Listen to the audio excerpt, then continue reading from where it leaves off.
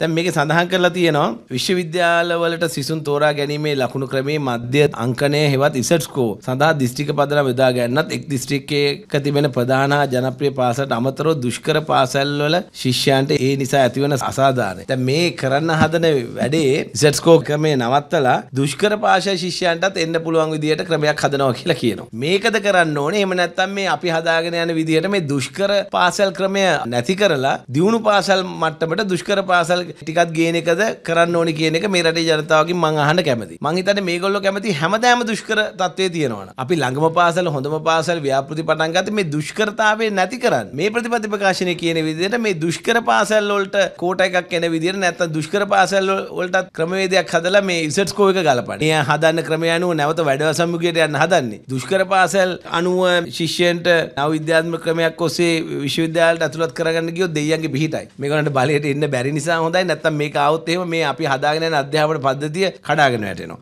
පසුගිය වසර හතරක කාලය තුළ වත්මන් රජය අධ්‍යාපනය වෙනුවෙන් විශාල වැඩකොටසක් සිදු කර ඇති බවද අමාත්‍යවරයා මෙහිදී වැඩිදුරටත් ප්‍රකාශ කළා.